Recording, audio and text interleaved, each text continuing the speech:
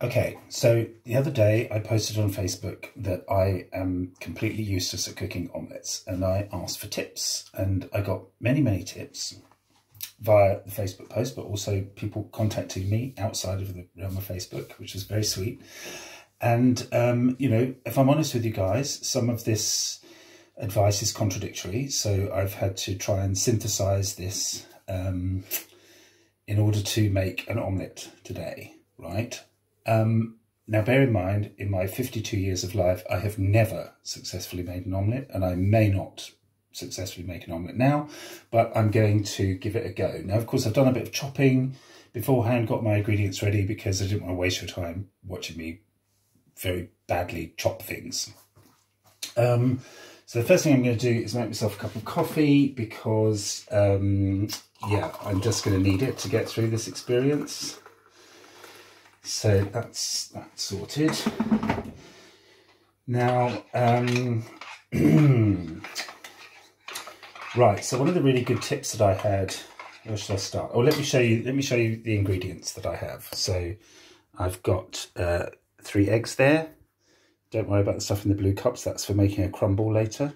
Another challenge I've been set. Um, so three eggs, bit of cheese, onion. Got some mushrooms here got the milk, butter, which clearly is very, very important. And here's all of my seasoning, which I've got salt and pepper ready. This is my new pan. I don't know if it's proper for, you know, if it's a good one for an omelette or not. I don't know, but it's non-stick and it's brand new. So I'm kind of hopeful about that. Right, so there's the ingredients. Um, so I guess eggs first. Uh, three eggs is what I've been recommended. Don't know, I guess it's arbitrary. Could make it bigger, but I'm guessing that two eggs would not be very substantial. So three it is. A little bit of milk. Uh, and uh, okay, so one of the tips that I had, which was really good, because this is definitely a mistake I've been making before, is to add the seasoning now. Um, rather than later. Now, you see, I think, I've been thinking like with scrambled eggs, as I was told once, you're not supposed to put salt in while it's cooking because then you get that watery stuff that comes out. So I assumed that the same applied to this. Apparently not. No, apparently the salt is going to help break down the eggs and that will make for a, a more structurally sound omelette. And I think actually that is probably my big problem because whenever I try to move it or take it out pan, it breaks up. so salt in before, and this all needs to be beaten quite well. Now here is where I get confused because some of the nicest omelettes I've ever had, and I have to say, there's a lot of really great brunch venues in Johannesburg where I used to live that make beautiful omelettes. I mean, I don't know why South Africa would be a place that they make fantastic omelettes, but that's where I've had my best and favourite omelettes. And one of the things I like about them is you get little flecks of, of white in there. Um, but apparently, according to you guys, that's not great for structural integrity. So it needs to be beaten. Uh, I don't really know about beating. Am I going fast enough? Maybe I should be more vigorous. Um, am I trying to get it really fluffy? I guess I need to get some air in there. Air, uh, I have been told, is important. So I'm going to try, I'm not very good at the beating part. But anyway, certainly there's no flecks of white and it's all mixed up. So I'm going to stop doing that because, of course, the other thing that you are um, very contradictory about is the heat of the pan. So apparently, if I'm reading you guys right, it has to be very hot as it goes in and then go to a cooler temperature and cook for long, which is fine if you've got a nice oven. But I live in rented accommodation. I've got a fairly cheap oven and it takes ages for the uh, rings to heat up and, and also a long time for them to cool down. So I'm going to use two rings. So I've got one here that's hot. Do you know what that is? That's coming out. And then I've got another one which is cooler, so I can just move it across when the time comes. Oh, coffee. Right, this is very stressful. I've never been so stressed cooking something in my life. And if it goes wrong, I'm sure you'll all tell me why, which is fine. I welcome more tips. Learning is a great thing. Mm. Lovely. Right, so here's another controversy, apparently. I used to cook whatever I'm putting in there, so the mushrooms and the onions, for example, cook it in the pan and then add the egg mixture to that. And that may have been another mistake I was making. Apparently I should cook it first, take it out, then put the eggs in, then add the ingredients. I think that's what I'm being told. Right, so uh, butter. Butter is clearly the important thing. Everyone mentioned butter. Gotta have butter. God bless the French. Right, so a bit of butter in the pan. Let that melt when it does. And then I'm guessing onions first because they take a bit longer to soften than mushrooms. I might be wrong about that. Maybe it makes no difference. I don't know. I don't know. Wouldn't want to burn the onions though, just soften them, I guess. Um, so, that is happening, but as I said, it does take a bit long.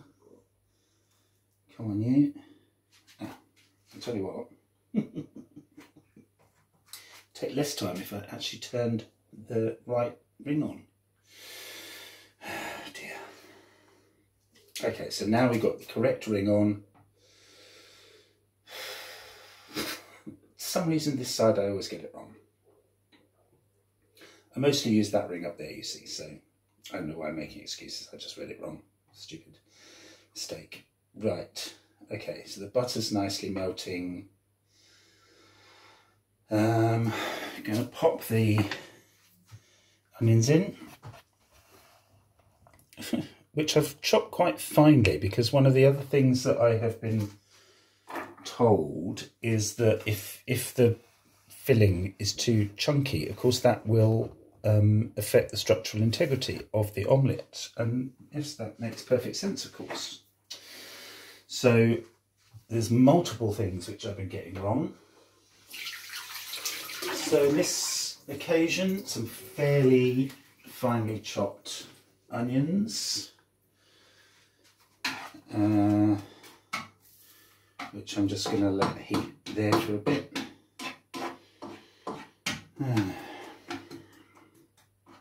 I don't know, this seems a lot quicker on cooking programs because I'm guessing they cut bits out where you actually just have to stand and stare at the bloody onions for ages. But maybe I've made a mistake already because maybe the pan wasn't hot enough to receive the onions. But anyway, don't know what to tell you about that. Come on, cook. Start making a nice noise. Start giving me softened buttery onions. Mm -hmm. Yep, definitely the right ring. You see how terrible I am? Right, throw these away, keep a nice tidy station.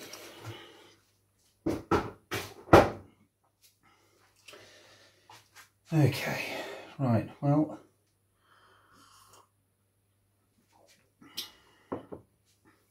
I am starving, so I'm really hoping this does work. I mean, I'll eat it, whatever it turns out like. But uh, what I'd like is an omelette that maintains its structural integrity and is tasty and fluffy and all of those things, delicious things. Okay, I'm getting a bit of nice onion smell now. So that's softening up. I'm going to add the mushrooms we go.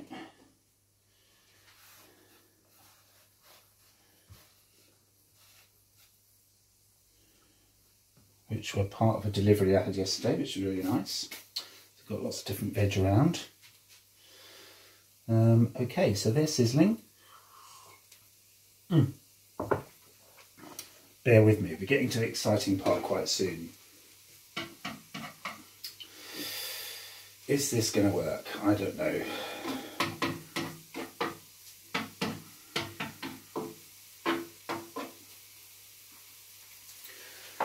You a little view of that.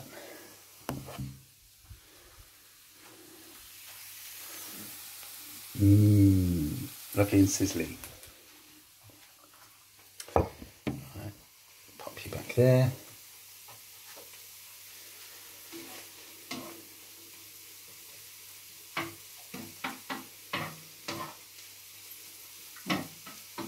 Smells very nice.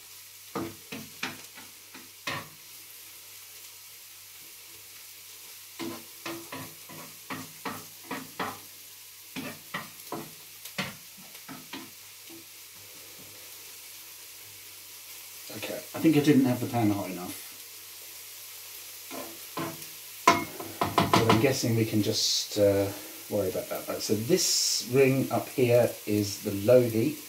This ring here is the high heat. So I'm doing the softening the onions and the mushrooms on the high heat. Tell me if I'm wrong. I don't know. Could be wrong but it's looking all right. That's how I kind of want to see it. I'm feeling like a little pinch of salt. This is complete intuition. I don't know. This might be the killer that destroys it all, but I feel like onions cooking with a bit of salt just brings out the flavour. That's my experience. But who knows? Uh, right. Okay, so that is actually quite nice and soft getting a bit of mushroom smell, which is good with the aroma. Again, finely chopped, rather than sort of you know sliced onion, sliced mushroom, which might uh, again make the omelette lose its structural integrity when, it, when the time comes. I'm saying all of this like it's going to work out, but it might not. It might not. We'll see. Okay that is looking good. Now I'm not going to overcook it because I'm figuring when it's in the pan being cooked in the omelette, it will also carry on cooking. So I don't want to cook this particular ingredient. Here we go. So I'm going to take that off. Oh, that really, really, really smells good. Oh my god. So I'm going to pop that in the bowl there.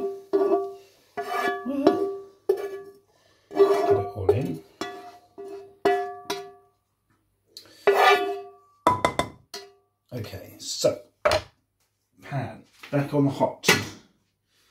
More butter. Keep telling me butter's the thing.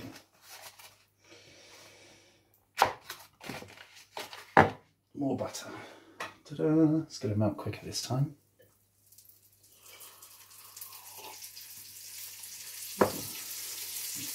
So I'm going to put some more air into this egg, hopefully.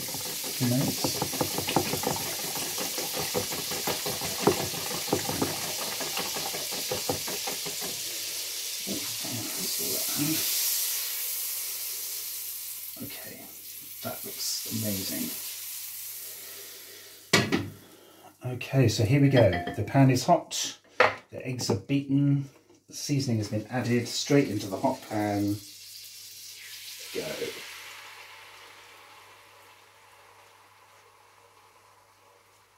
Now, what I can't figure from all the things that you've told me is when to reduce the heat. So I'm, I figure that I want to get a bit of base done and then transfer it to the lower one, which I'm going to do now. So that is that. Ooh, turn this terrifyingly hot thing off. Okay, so here's a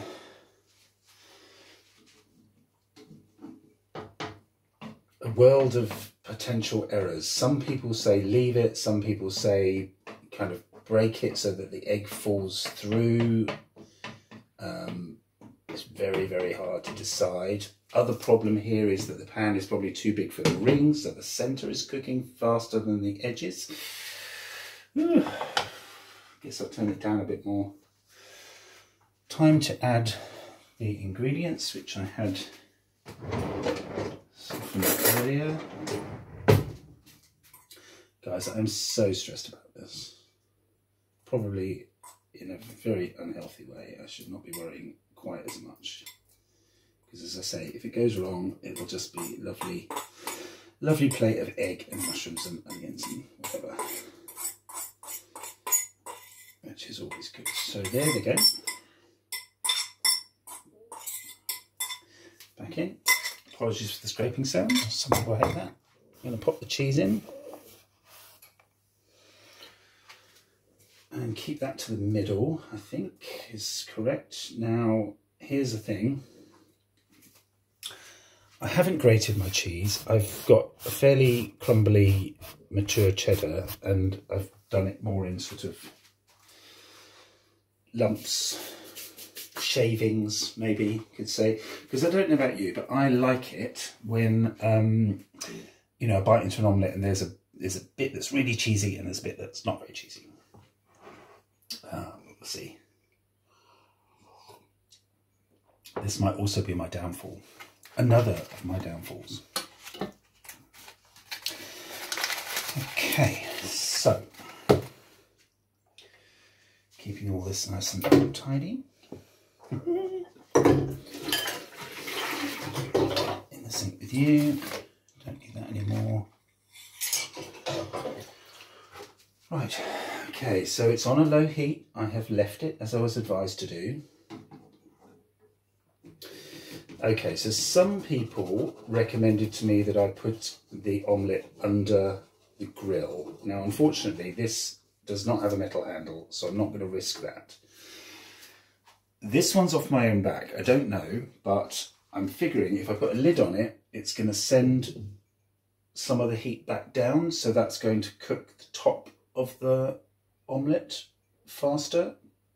Because I think one of my fears is that if it cooks just only from the bottom, that the surface of the omelette's going to burn before the middle bit's cooked. So I'm thinking, don't know if it's right, put the lid on and then that sends the heat down, helps cook the egg.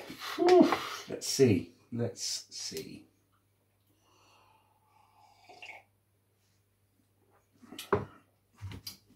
Can we get a plate ready? Would you like to have a look? That's how it's looking at the moment, which is promising it is occurring to me, of course, that had I put all of the filling on one side, it would have been easier to fold the omelette over. So I may just have learned an important lesson in filled omelette making. Don't know. Right. Oh, terrifying. So there's still quite a bit of liquid on the top. Do I do that thing where I sort of let it through? Is that something that I do? Okay, right. What I'm going to remember now is all the people that said to me, be patient. This is me being patient.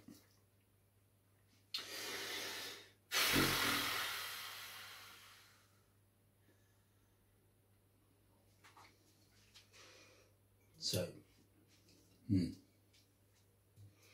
How long do I have to be patient for? It's a very impatient thing to ask, isn't it? Let's see. Don't know. It's a bit thin. I'm worried it's going to burn. What's going to happen? Okay, well, uh, yeah.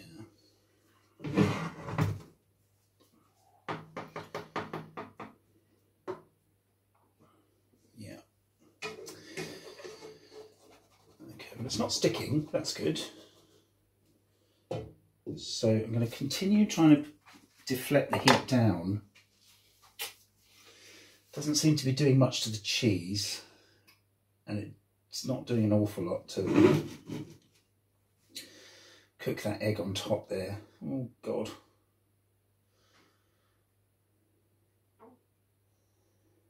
I really just want a nice omelette.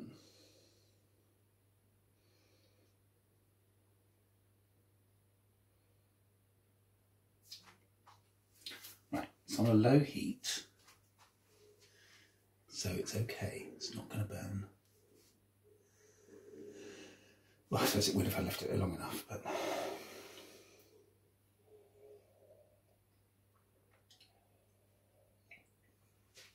In my mind, there are people that just throw an omelette together. It's terribly easy for them. Um, and yet it, it, at this point, it feels like a very, very involved and complex thing to do. Okay, moment of truth. I'm feeling like this is cooked. I'm going to try and fold it. Now, what sort of technique I'm supposed to use to do that, I do not know, but hmm, no, it's breaking apart.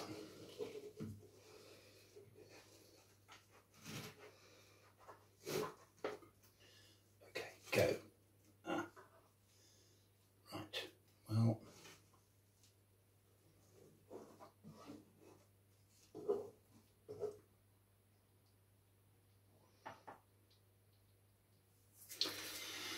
Okay, so have a look here. Um, so I folded it and it split. So that is typical of when I make an omelette, it breaks open like that. Now, maybe it's too much filling, maybe the omelette isn't thick enough. Um, maybe I didn't leave it long enough because it's not that brown here. Could be a bit browner, couldn't it? But I have to say that's probably the best omelette I've ever made. as crappy as it looks, that's probably the best I've ever done. And someone said to me, oh, it should still have a little bit of sort of goo, eggy goo in the middle, and definitely got that going on. Um, but yeah. So I'm going to let that cook a teeny bit longer.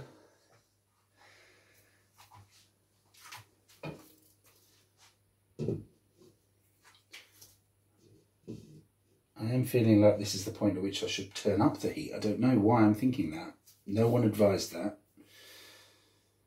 It just does feel a bit like nothing's going on and I want it to get that little sort of, you know, slightly browned, crusty bit. Now, of course, if I tried to flip it over now, it would be a complete disaster, so I'm not going to do that. Um, but I do think I do think it's done. I don't want to be eating anything too rubbery. Um, all the eggs cooked, that's going to go on a plate. go on. Lovely. Put that over here.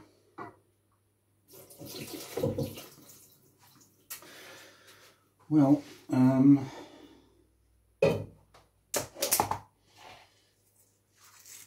because I do like a lot of salt with my eggs. A bit more seasoning.